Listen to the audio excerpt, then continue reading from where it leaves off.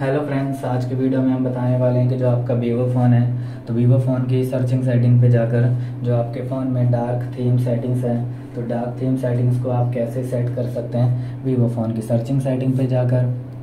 तो video start करने से पहले हमारे चैनल को लाइक करें सब्सक्राइब करें और साथ में बेल आइकन दबाना ना भूलें। तो वीडियो स्टार्ट कर लेते हैं। तो आप देख सकते हैं कि फ़ोन के आइकन्स हैं, इस तरीके से शो हो रहे हैं। तो आपको स्वाइप करना है स्वाइप करते ही वाला आइकन्स ओपन हो जाएँगे। सेटिंग्स पे जाना क्लिक करते ही आपके फ़ोन की सेटिंग्स ओपन जाएगी। तो जो आपके फ़ोन में,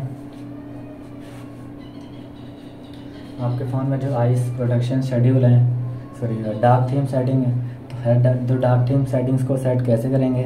सिंपली आपकी सेटिंग शो हो रही है तो आपको यहाँ से सर्च करना डार्क थीम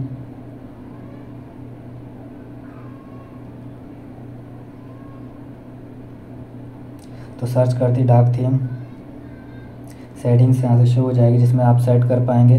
डार्क थीम को आप इस तरीके से ऑन कर सकते हैं। जो डार्क थीम आपके फ़ोन में कुछ इस तरीके से ऑन हो जाएगा। जो स्क्रीन होती है, आपकी फुल तरीके से ब्लैक हो जाती है।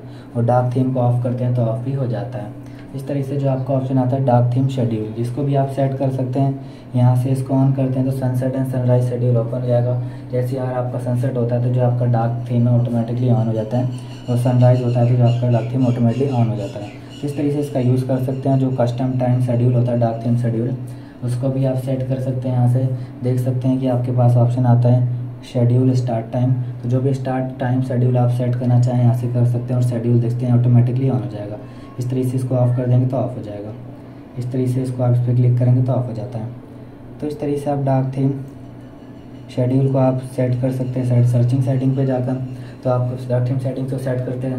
वीवो फ़ोन में तो आपको वीडियो अच्छी लगी तो लाइक करें सब्सक्राइब करें बेल आइकन दबाना ना भूलें। थैंक यू नेक्स्ट वीडियो के लिए इंतज़ार करें। वीडियो